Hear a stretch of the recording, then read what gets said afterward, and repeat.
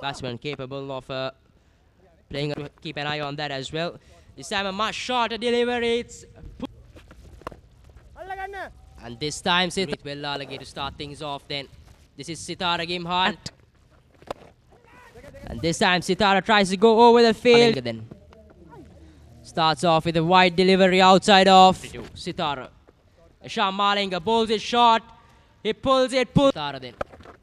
This time short once again, pulled by Sit. I think it's missing off there because all three stumps are clearly very visible. Sithara Gimhan. And he's been a very good